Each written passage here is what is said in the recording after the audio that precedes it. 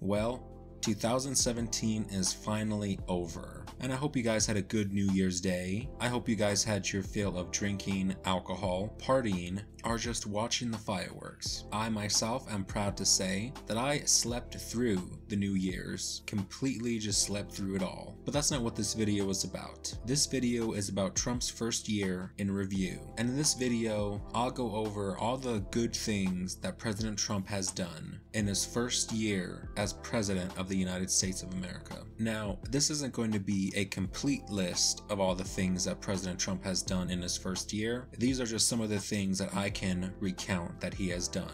Some things I agree with, some things I don't. So let's go ahead and just get started. Starting with number 15, pulling out of the Trans-Pacific Partnership. One of the first thing that President Trump did was signed an executive order on Monday, January 23rd, in the beginning of 2017, that formally withdrew the United States from the Trans-Pacific Partnership trade deal. Though, as you may know, the Trans-Pacific Partnership was a horrible deal for American workers, so much so that even many Democrats in office and Democrats Democrats around the country heavily disagreed with the TPP and wanted America to have nothing to do with it. So one of Trump's first actions was to do just that, pull out of the Trans-Pacific Partnership that would essentially destroy many American workers while benefiting many foreign jobs and workers. Number 14. Trump's travel ban. A heavily controversial order that Trump wanted to succeed was Trump's travel ban,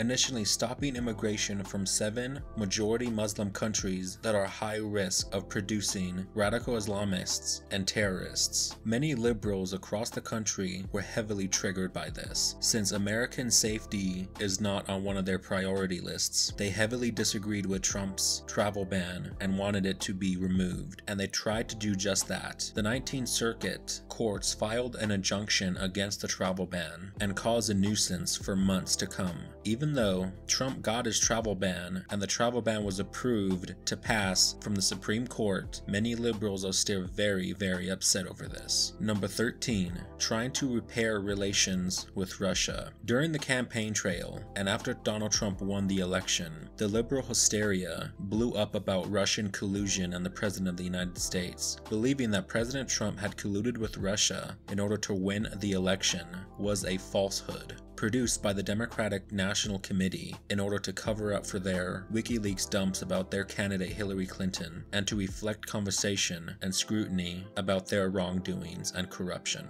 The Russian collusion bullshit has gone so deep that it actually started an investigation that has been ongoing for many, many months now. Though many liberals are so desperate for something to impeach Trump with, the Russian collusion one isn't going to win favor, nor will it prove any wrongdoing on Trump's part. But that being said, Trump has tried to heal relations with the Russian state to avoid all-out Cold War 2.0 from beginning, but the liberals and Democrats in office make that extremely difficult. Number 12. Bombing a Syrian airbase. One of the things I disagree with Donald Trump on is that his bombing of a Syrian airbase. Back in April of 2017, President Donald Trump struck a Syrian airbase in an effort to show Bashar al-Assad, the president of Syria, that he means business and he's not like President Obama. Though I heavily disagree with this move and believe that we have no business in the Middle East and we should let Middle Eastern affairs deal out on their own. The only good thing is that this airbase was an empty airbase and there were no casualties. But nonetheless, I still disagree with bombing any part of Syria or getting involved in the Middle East at all because we've been there for the last two decades and it has done nothing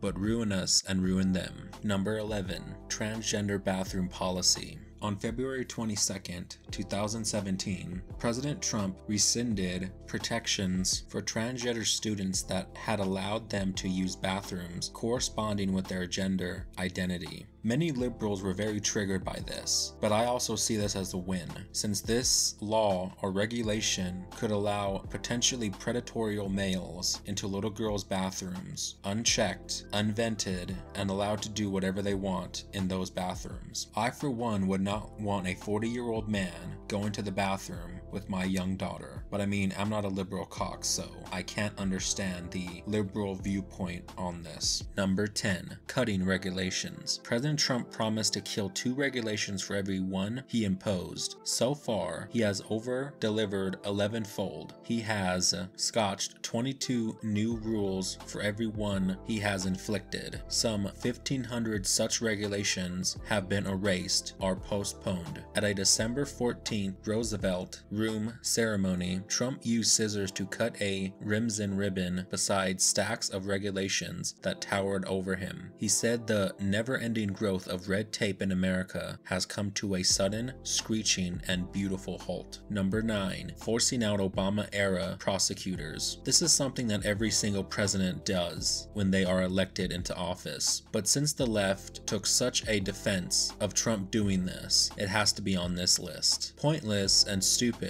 since, like I said, every president that's ever been elected into office has forced out the previous era of prosecutors appointed by their previous president. Number 8. Cutting unnecessary programs. Donald Trump has claimed that he is a true conservative and not a huge spender, and with all the things he's done in an entire year, nothing gives me a reason to doubt him on his conservatism. One of them being cutting useless programs that just cost up American taxpayers money for no reason. Programs such as Community Developed Block Grants, the Weatherization Assistance Program, the Low Income Home Energy Assistance Program, the National Endowment for the Arts, and the Corporation for Public Broadcasting. Many of those programs you have never even heard of. So I agree with Trump on cutting their budgets, and I believe he should even go further and cut even more budgets and regulations and bureaus that are essentially useless. Number 7. Refusing to shake Angela Merkel's hand. Again, many liberals and Democrats flipped out on Trump from doing this, but I don't see this as a negative. I see this as a complete positive, since Angela Merkel is everything that we are fighting against when it comes to globalism, censorship, anti white propaganda, and anti traditionalism propaganda. Angela Merkel has no respect for her people nor her people's culture, essentially by letting in millions of refugees that only kill, rape, and commit horrible crimes that puts Germany at rank 37 of the most safest countries in the world, meaning it has had a significant drop in safety since the refugees came in. So I applaud Trump for not shaking this woman's hand. She's basically like Hillary 2.0, but just a German version. Number 6. Not signing the Paris Accord deal. Many liberals are very triggered by this because they fall into the category of believing that climate change is a man-made event. Though I have spoken about my thoughts on climate change and how I believe it is actually real, but it is not man-made and is just a natural occurrence on our planet and there is nothing we can do about it. The Paris Accord deal was essentially giving billions of United States taxpayer money to third world countries in order to build solar panels and windmills, which is complete bullshit because all that money was either going to be siphoned off to billionaires, corporations, drug lords and warlords in the third world, and people like Elon Musk. Number 5. Booming economy. President Trump promised on the campaign trail that he would get the economy back rolling and get the economy back on growth, and he's done just that. In his first year in office, the economy is now at a 3.3% growth rate, something that liberals and the Democratic pundits and economists from all over said was impossible. Number 4. Getting NATO to finally pay. Over the many years, many presidents have failed to get the NATO countries and NATO allies to pay their fair share in security, and many of these countries have gotten away with not contributing to the NATO allies or NATO program, since many previous presidents of the United States have been very weak and inefficient in getting anything comprehensive done. President Trump has changed all of that and got the NATO countries to actually pay up and pay their fair share. Number 3. Made Jerusalem the capital of Israel. President Trump declared Jerusalem the capital of Israel and announced that America would now move its diplomatic mission there from Tel Aviv as soon as construction allows. This enforces the Jerusalem Embassy Act of 1995. Jubilant Israeli officials just announced that they will build a rail station near the Western Wall after the president, thus making the Trump train a real thing.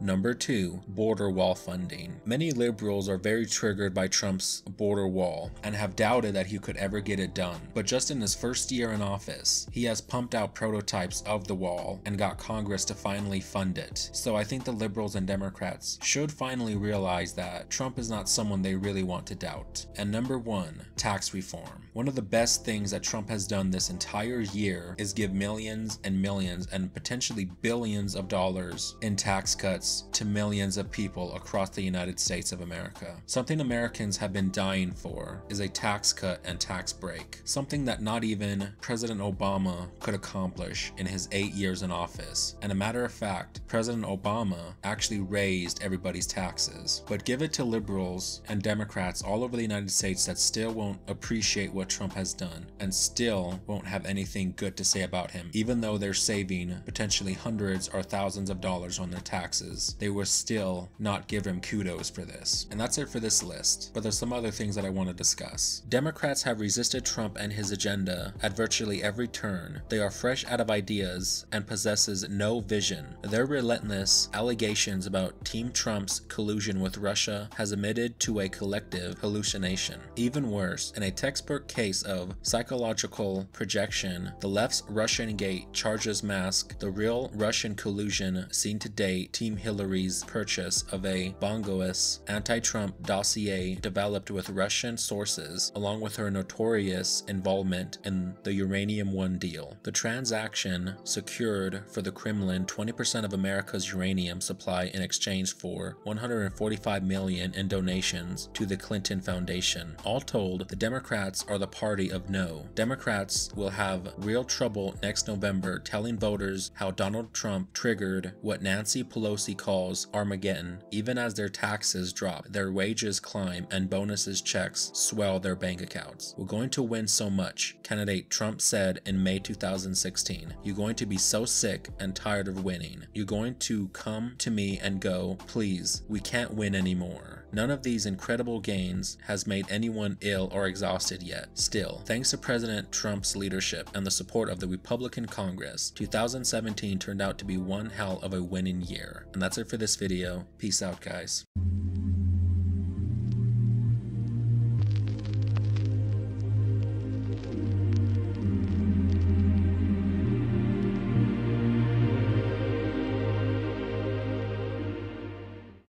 Number 12. Bombing a Syrian airbase. What kind of businesses are you looking for? Shut the fuck up. After all I've done for you? God damn it, shut up.